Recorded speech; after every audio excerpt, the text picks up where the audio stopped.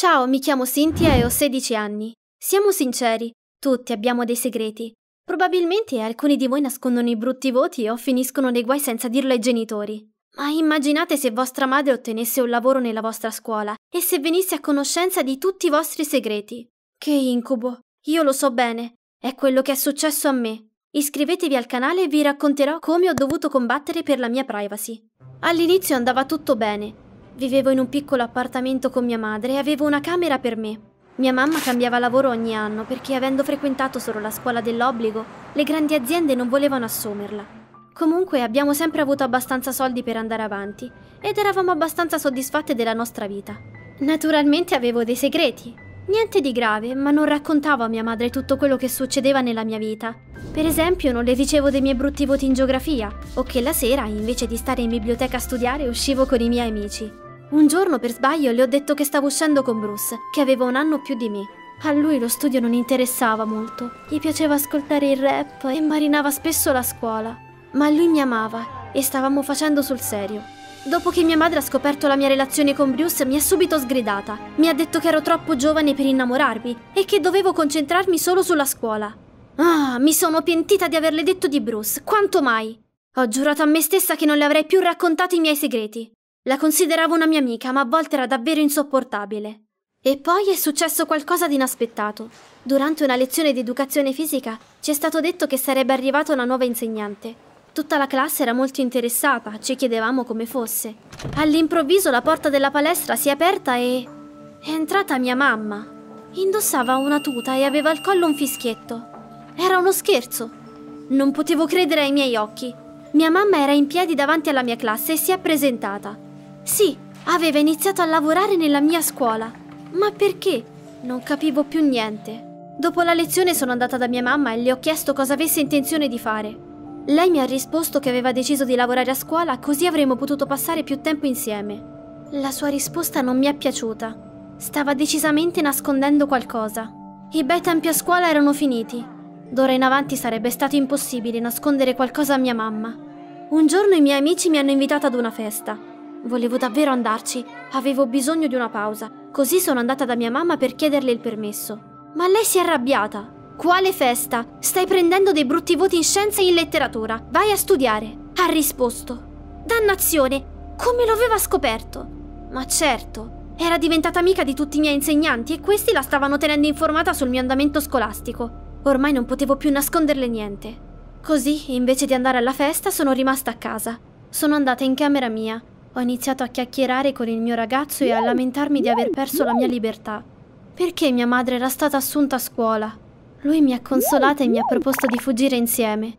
Mi sarebbe davvero piaciuto, ma non volevo mia mamma si arrabbiasse. Il giorno seguente ho incontrato Bruce fuori da scuola, così mia mamma non poteva vederci. Stavamo chiacchierando, quando all'improvviso ho visto mia madre sbucare dal nulla. È corsa da noi e mi ha trascinata via per un braccio. Cosa ci fai qui, Cynthia? Non dovresti essere in classe a quest'ora? Ha chiesto arrabbiata. Non sapevo cosa risponderle. Non pensavo che ci avrebbe beccati.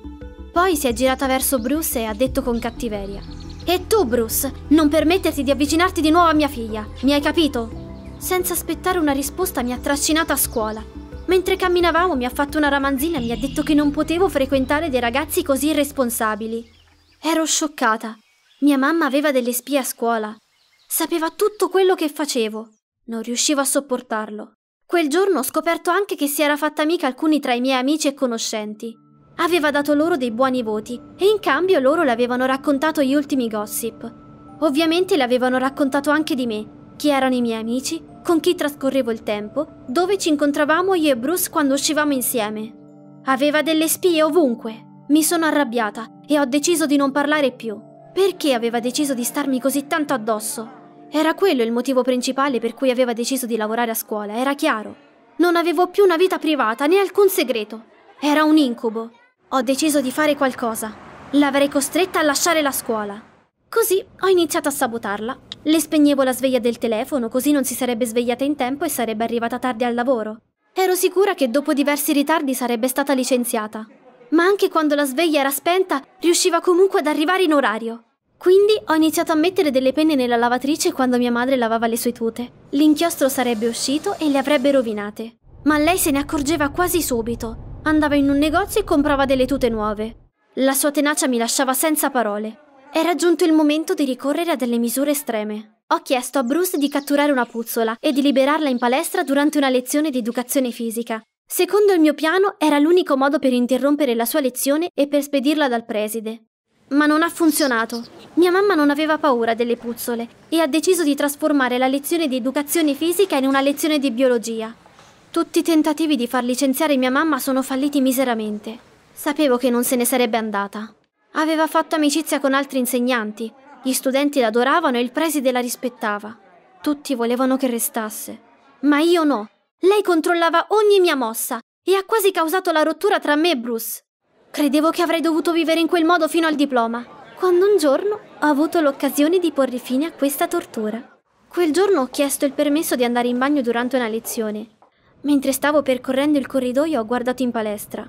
Mia madre era lì e non era da sola. Stava abbracciando il mio insegnante di inglese, il signor Bergman. Cosa stavano facendo? La porta era socchiusa e io li ho spiati. Sembrava che stessero avendo una conversazione piacevole ma non sembravano due semplici amici. Tra di loro stava chiaramente succedendo qualcosa, anche se il signor Bergman era sposato e aveva dei figli. Ho realizzato che quello era ciò che mi serviva per riavere la mia privacy. Dopo scuola mamma mi ha detto di tornare a casa da sola, perché lei avrebbe lavorato fino a tardi. Certo, come no, come se ci credessi. Così ho fatto finta di tornare a casa, mi sono nascosta dietro la scuola e ho deciso di spiare mia madre.